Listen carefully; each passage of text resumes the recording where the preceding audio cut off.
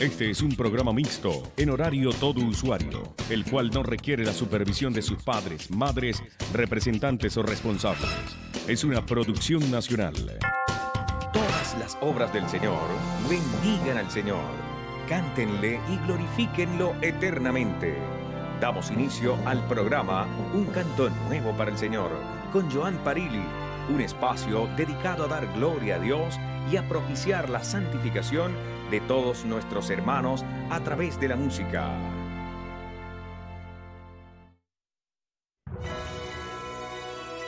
Sean todos bienvenidos a una nueva edición del programa Un canto nuevo para el Señor. Les saluda Johan Parili y estoy muy contento de compartir con ustedes durante la próxima hora. Vamos a ponernos en manos del Señor. Hoy venimos en nuestra dinámica habitual del programa. Primero eh, compartiendo con todos, uniéndonos todos en oración, cantándole al Señor. Luego pasaremos a nuestra sección Cantemos con la vida para posteriormente ir a la sección para afinarnos en el tono perfecto de Dios y finalmente conversar un poco sobre música litúrgica. Pongámonos en manos del Señor que es con nosotros muy muy especial con cada, de cada uno de nosotros el Señor tiene una historia.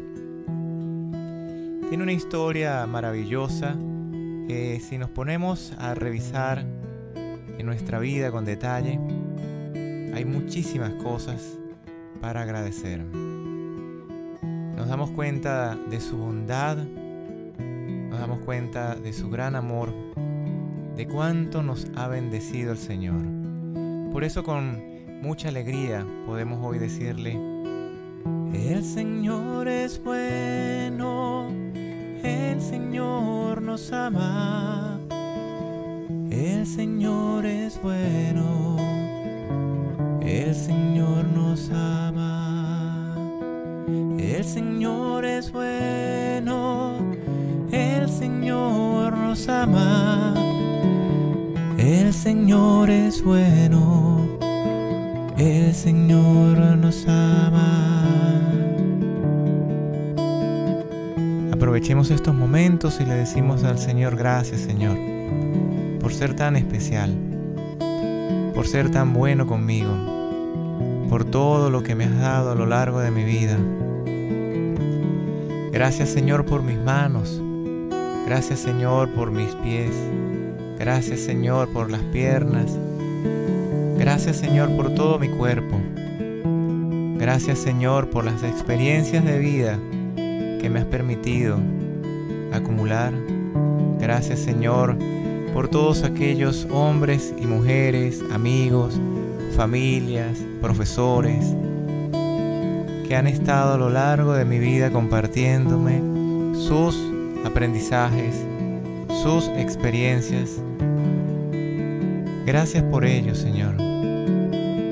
Gracias Señor por el lugar donde vivo. Démosle gracias al Señor también por el bocado que cada día nos regala. Gracias Señor por todos los medios de transporte que pones a la disposición para ir al trabajo, para ir a la escuela. Gracias Señor por ese día hermoso que nos regalas. Gracias Señor por ese bello sol, por la luna, las estrellas, las nubes, el cielo, las aves, los animales, porque todo, absolutamente todo habla de ti. Todo nos dice cada día lo maravilloso, lo grande, lo bueno que eres. El Señor es bueno, el Señor nos ama, el Señor es bueno, el Señor nos ama, el Señor es bueno, el Señor nos ama, el Señor es bueno, el Señor nos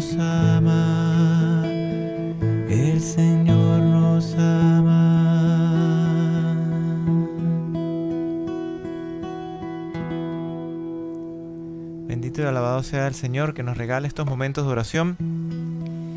Momentos que por cierto yo también quiero siempre hacer la invitación para que ustedes todos los días puedan tomar cualquier parte de una plegaria, de un salmo, de una lectura de la palabra de Dios y que se puedan quedar con ella durante todo el día repitiendo esa frase, esa idea. Si esa frase o esa idea además está musicalizada, pues muchísimo mejor. La van cantando durante todo el día. Y de hecho, en ese quehacer estamos en el canal, en la página web de la Fundación, compartiendo todos los días una jaculatoria cantada, una como esta que acaban ustedes de escuchar. Están disfrutando de un canto nuevo para el Señor a través de Radio Natividad. Muchísimas gracias de antemano por su audiencia. Vamos con música y venimos en un momento. www.fundamusica.org Están escuchando un canto nuevo para el Señor y pueden comunicarse con nosotros al 0412 667 9976. Los niños, por cierto, que quieran formar parte del coro infantil de la Fundación de Músicos Católicos pueden a sus papás o a sus representantes pedirles que envíen un mensaje a ese número telefónico para decirles cuándo son los ensayos. Estamos cantando los domingos en la misa de las 7 de la noche aquí en Radio Natividad. Así que están invitados. Bueno, vamos con la sección que se llama Cantemos con la vida. Una sección que no está dirigida para músicos nada más. No, esto es para todos, porque en la palabra de Dios se nos invita en muchísimas ocasiones, en el libro de los Salmos, en el libro del Apocalipsis, a que cantemos un cántico nuevo al Señor, que no es otra cosa que amarnos a los unos a los otros. Y el tema que hoy vamos de alguna manera a tratar, porque hemos venido desmenuzando las obras de misericordia, es el perdonar al que nos ofende. Ok, y aquí lo más importante a tener en cuenta es que para poder llegar a esta plenitud de el perdón, necesitamos tener al Señor en nuestro corazón, pedir su auxilio, ir de su mano, porque de lo contrario por nuestros propios medios se nos va a hacer muy cuesta arriba perdonar. Y cuando no perdonamos empiezan a anidarse en nuestro corazón una cantidad de cosas extra. Los, eh, por supuesto, el odio, el rencor, envidias, recelos, bueno, y cantidad de cuestiones que, eso va a derivar. Porque incluso da hasta para criticar, porque como no hemos perdonado, tenemos ese, ese asunto ahí que no, nos molesta y que de alguna manera queremos desquitarnos. Entonces empezamos a juzgar, a criticar, a difamar, a murmurar. N cantidad de cosas. La lista es larga, ¿no? Y cada uno de nosotros, pues, en nuestros exámenes de conciencia debemos estar muy atentos a verificar todo ello y sobre todo a preguntarnos, ya va, yo me acabo de confesar porque critiqué, estoy poniendo un ejemplo, ¿no? A fulano de tal o a fulana de tal. Y resulta que no es solo la murmuración, ¿sí? En este caso, eh, eh, uno de los pecados. Es, ya va, ¿qué originó esa murmuración? Ah, resulta que esa persona me hizo a mí algo en algún momento. Ah, y ahora me estoy desquitando. Mientras, ¿sí?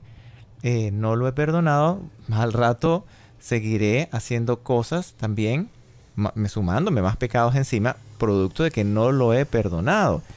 Y entonces allí es donde tenemos nosotros que profundizar mucho en ese examen de conciencia y como ya lo mencionábamos, pedirle al Señor que nos ayude a hacer las cosas como Él.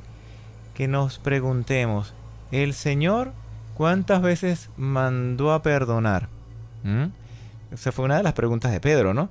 Cuando Pedro llega, Señor, ¿cuántas veces hay que perdonar? ¿no? Me imagino, así como nosotros, este, porque así somos, ¿sí? Seguramente diríamos, bueno, van tres, ¿no? a la cuarta tal cosa. Entonces de pronto a veces le podemos de alguna manera analizar a ese diálogo entre Pedro y, nuestro Señor Jesucristo de, Señor, ¿y cuántas veces tengo que perdonar? Porque ya van tres, ¿no? Podríamos agregarle nosotros. ¿Y el Señor qué nos va a responder?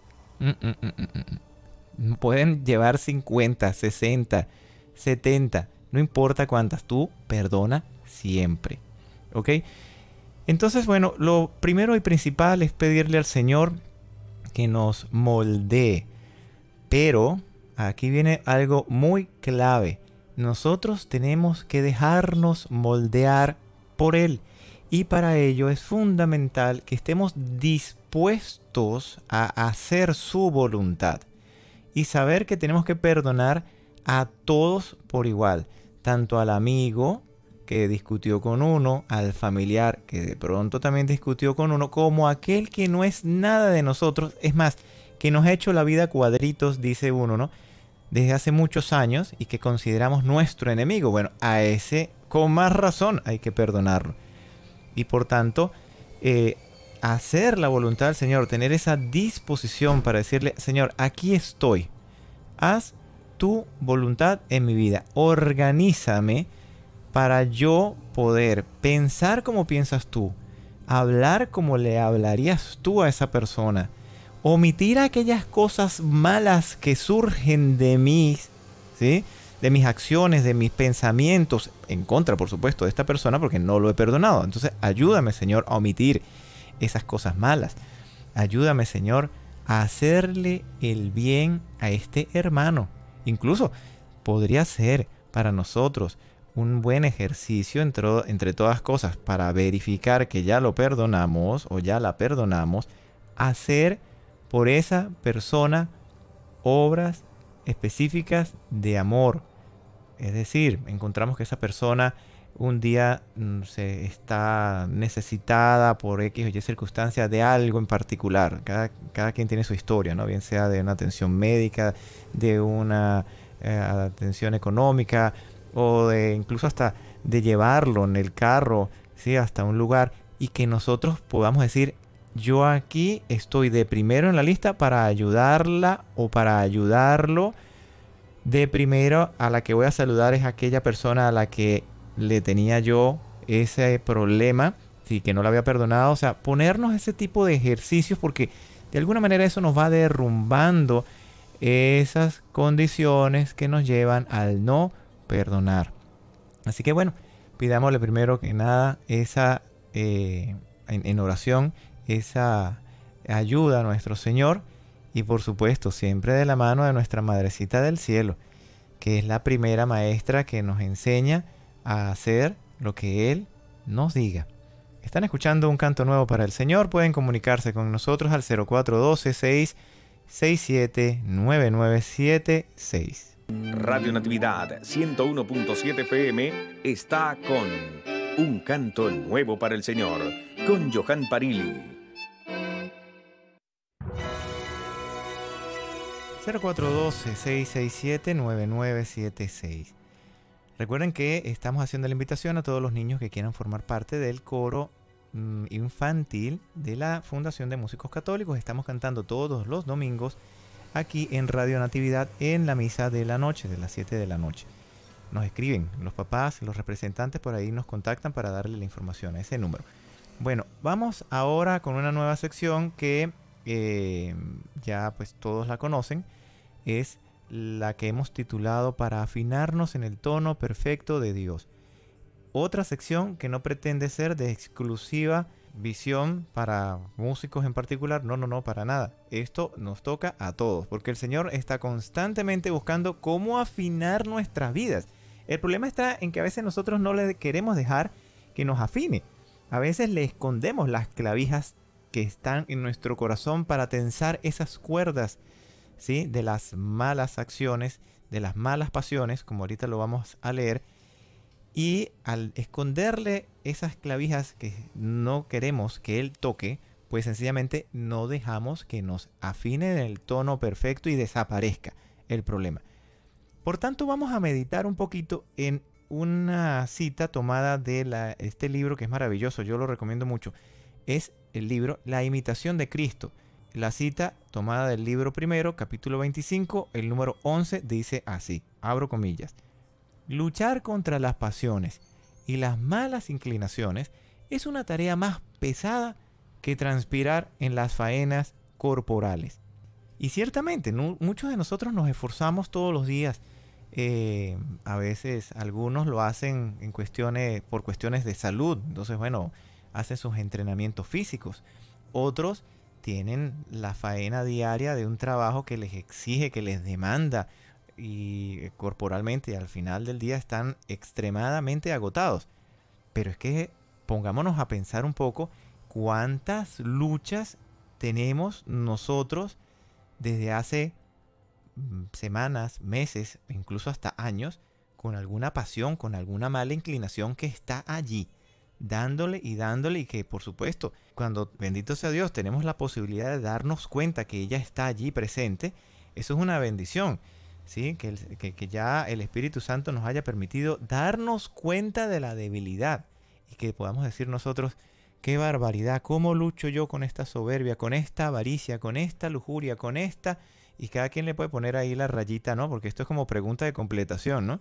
Pensemos cuál es esa mala inclinación que tenemos desde hace un buen tiempo, ¿sí? Entonces ahí ustedes hacen la pregunta, ¿cuál es mi debilidad? Dos puntos, rayita. Ponen ahí la, en la pregunta de completación el término que mejor identifica esa debilidad, el chisme, bueno, en fin. Entonces, muchos, por supuesto, tienen eso claro, pero hay otros que ni siquiera se han dado cuenta, que no nos hemos dado cuenta de que tenemos una falla. Y entonces hay que empezar por pedirle al Espíritu Santo, Espíritu Santo, por favor, muéstrame mi debilidad, muéstrame mi mal hábito, muéstrame mi mala pasión. Porque definitivamente, este, no me he dado cuenta de ella. Y ya, pues, siento que algo en mi vida no está funcionando. ¿Sí? Entonces, ese es uno de los primeros pasos. El segundo paso, bueno, otra vez recurrir al auxilio para poder vencerla en franca lucha, porque es que eso es una lucha. Y es una lucha de todos los días, porque de paso, si fuera una cosa que uno dice, bueno, me acuesto a dormir y me levanto al otro día y ya lo que pasó, pasó. No, no, no, no, no. Es que muchos ni siquiera logran conciliar el sueño porque están en plena lucha, porque están molestos por lo que le dijeron, por lo que les hicieron, por lo que no les dieron y etcétera, de cosas que nos pasan. Entonces perdemos el sueño. Y perdemos el sueño porque estamos, diría por ahí eh, Cantinflas, estamos picados porque nos trataron mal. Entonces la soberbia está allí, esa mala no. Situación está gobernando nuestra mente y no nos deja ni siquiera dormir. En otro momento estamos es con aquello de la avaricia al mil por ciento, ver cómo buscamos más dinero no importa bajo qué medio, pero aquí hay que buscar dinero. Entonces, claro, hasta el sueño lo podemos perder. Y eso que estamos poniendo solo dos ejemplos. Cada quien tendrá sus propios ejemplos. Que a veces ni nos damos cuenta de la sutileza de ella en nuestras vidas. Les voy a poner un caso. El otro día hablando con una hermana que, que quería cantar en un coro, me decía, yo canto, pero a mí me da pena cantar frente al público. Y verdad que la persona cantaba bien. Y recuerdo que hay unas letanías de la humildad eh, de un cardenal que por cierto eh, les recomiendo que las busquen. Eh, Merry del Val, se llama el cardenal, en paz descanse. Y en una de ellas dice, del temor de hacer el ridículo, líbrame Señor. Es decir, el tener miedo escénico en este extremo ya de ni siquiera subirme o de poner ese talento que Dios nos dio para su servicio, eso es también manifestación de la soberbia, cotejándolo con una de estas letanías de la humildad que les estoy ahorita citando. Entonces hay tantas formas en que se presentan estas eh, malas inclinaciones y bajas pasiones que hay que pedirle definitivamente auxilio al Espíritu Santo y nuevamente, una vez que ya nos dimos cuenta que Él nos muestra esa falla, decirle, oye, a ver, ahora Señor, aquí te abro mi corazón, y afíname tal como tú quieres que yo dé ese tono perfecto. ¿Ok? Porque solo Él sabe en qué grado estamos desafinados. Eso es como un instrumento. No todos los instrumentos se desafinan igual. Hay guitarras que uno agarra y bueno, tiene desafinada la primera cuerda. Otras tiene dos cuerdas desafinadas. Otras tiene todas las cuerdas desafinadas. Y algunas más en extremo que está tan desafinado que hay que incluso hacerle ajustes en el mástil del instrumento para enderezar primero el instrumento y luego poderlo afinar. A veces estamos así nosotros, que nos tiene que enderezar el Señor la vida en su totalidad y luego, hijo, ahora sí vamos a empezar a afinar las cuerdas. bueno, estamos escuchando un canto nuevo para el Señor. Se pueden comunicar con nosotros al 0412 6 679976. Vamos con más música. Una iglesia sin música es como un cuerpo sin alma. San Juan Bosco.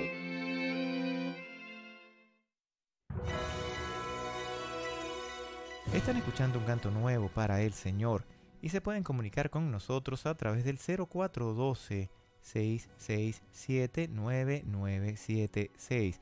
Recuerden que están las puertas abiertas para el coro infantil de la Fundación de Músicos Católicos y a través de ese número de contacto pues los padres, los representantes nos pueden escribir para darles la información detallada. Estamos cantando por cierto los domingos aquí en Radio Natividad en la misa de 7 de la noche. Bueno, en esta última sección del programa nos dedicamos a hablar sobre música litúrgica y esto es importante que lo tengan muy presente. Va también dirigido a todos los fieles, no solo a los músicos, obvio. Los músicos tienen aquí un punto muy importante que tener presente en su servicio. Pero igual es válido que todos los fieles estemos documentados de estos aspectos a modo de catequesis musical porque sabemos que hay muchas parroquias donde no hay un coro o no hay un grupo de cantores. Entonces, hemos visto que muchos fieles pues se acercan, toman el micrófono y cantan. ¿sí? Un solo señor o una sola señora hace ese papel. Y claro, hay que tener muy presente que se canta, que no se debe cantar, cómo se debe cantar y cuándo se debe cantar. ¿Ok? Ahora bien, partamos de lo siguiente que ya hemos destacado en programas previos, pero por aquello de que no se nos vaya a olvidar nunca, destacamos nuevamente. La música litúrgica es una parte de lo que nosotros podemos generalizar con el término música católica. Es decir, está la música católica que es litúrgica y está la música católica que no es litúrgica. ¿sí? Sigue siendo católica. Se puede interpretar en retiros, en convivencias, en jornadas de oración, en rosarios, pero no es música quizás, dependiendo de algunos cantos que son ambivalentes, pero no necesariamente los cantos católicos todos son litúrgicos. Eso es muy importante tenerlo presente. Ahora, la pregunta típica que siempre se hacen en las formaciones de la fundación en estos aspectos, bueno, ¿y cómo saber cuándo es litúrgica? Primer punto a tomar en consideración, que el canto esté fundamentado en los textos en este caso póngale, vamos a, enumerar, uno, las Sagradas Escrituras, el misal, ¿ok? Que son, por supuesto, las fuentes litúrgicas en este caso, que van a su vez de la mano de las partes que se van a cantar de la liturgia. Es decir, saber, ok, este canto es litúrgico porque tiene el texto adecuado y va de la mano de la parte de la Eucaristía que conocemos con el nombre de canto de entrada. ¿sí? Este, para efectos musicales, estoy hablando del ámbito musical, porque obviamente eh, en este sentido tenemos que también tener muy presente que es eso de los ritos iniciales y eh, que componen los ritos iniciales. Los ritos iniciales están eh, constituidos, lo conforman la entrada, el saludo, el acto penitencial, el Señor ten piedad, el gloria y la colecta. ¿Ok? Todo eso forma parte de los ritos iniciales. Estamos aquí desglosando las partes de cada misa. Entonces, ¿cómo saber qué debo cantar en la entrada?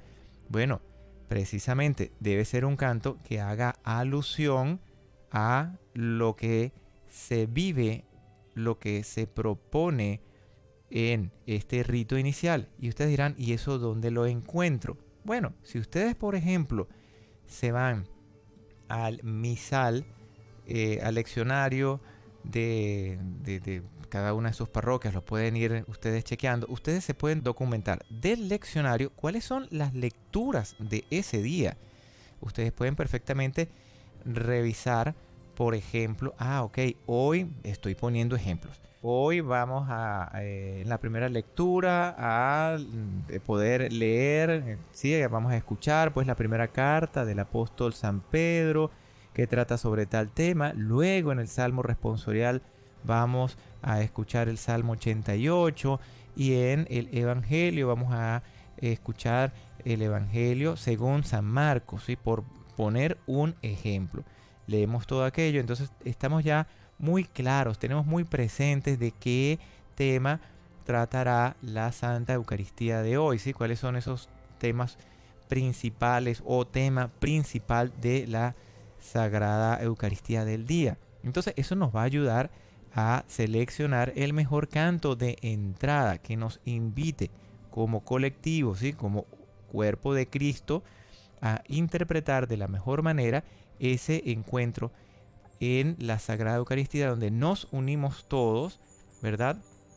Para poder vivir a plenitud ese momento tan especial. ¿Ok? De esto vamos a seguir hablando en la siguiente parte. Vamos a escuchar algo de música y retornamos. Recuerden el número de contacto 0412-667-9976. Están escuchando un canto nuevo para el Señor. Es propio de quien ama la voz de este cantor es el fervor del santo amor. San Agustín.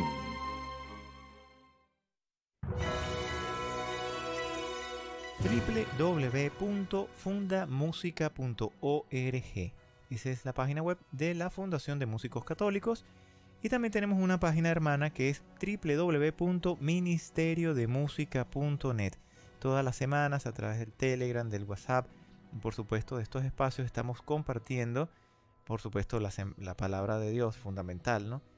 Eh, esa es la nutrición de todo cristiano y era, es lógico saber que todo músico también mm, requiere de esta eh, nutrición diaria para prepararse a efectos del servicio que va a desarrollar en la liturgia. Y también estamos compartiendo toda la semana sugerencias de cantos para el siguiente domingo. Entonces si de pronto usted ya lleva un buen tiempo cantando un santo, el Gloria, y dice, bueno, ya va, yo quisiera buscar otro santo, otro Gloria, ¿qué hacer? Bueno, lo invitamos a visitar nuestro sitio para que de pronto encuentre por ahí algunas otras opciones, de manera que podamos variar el repertorio. Bueno, volviendo aquí al tema que hoy nos ocupa, que es el canto de entrada.